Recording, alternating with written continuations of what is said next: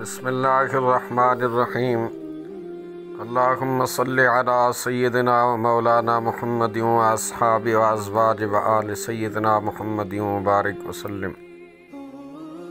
معزز سامعین و ناظرین، عزم و ہمت اور یقین کی طاقت کے بارے میں آپ حضرات کو کچھ عرض کرنا چاہتا ہوں۔ ایسا شخص مشکل سے ملتا ہے، جو یقین سے کہے کہ میں کروں گا جو کام مجھے کرنا چاہیے۔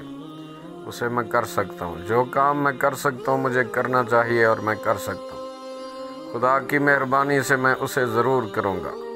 کیونکہ میں نے اپنے اللہ کے سامنے عہد کیا ہے کہ میں اسے ضرور کروں گا۔ بہت ہی کم لوگ یہ جانتے ہیں کہ حوصلہ مندانہ فیصلے میں فوری ہی ایک فیصلہ کرنے اور فیصلے پر عمل کرنے کے عہد میں کتنی قوت ہوتی ہے؟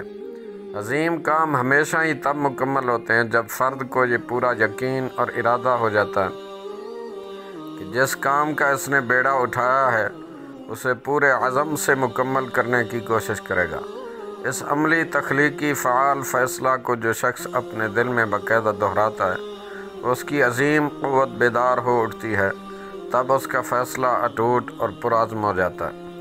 خود اعتمادی اپنی اہلیت میں اٹوٹ، یقین پیدا ہونے سے انسان میں کام کو پورا کرنے کی اعلیٰ صلاحیت پیدا ہو جاتی ہے۔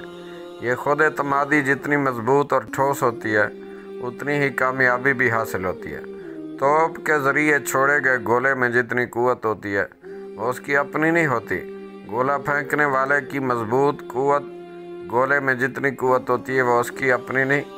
بلکہ اس گولا پھینکنے والے کی مضبوط قوت گولے کے اندر داخل ہو کر اسے دور تک جانے اور مضبوط وار کرنے کے قابل بنا دیتی ہے۔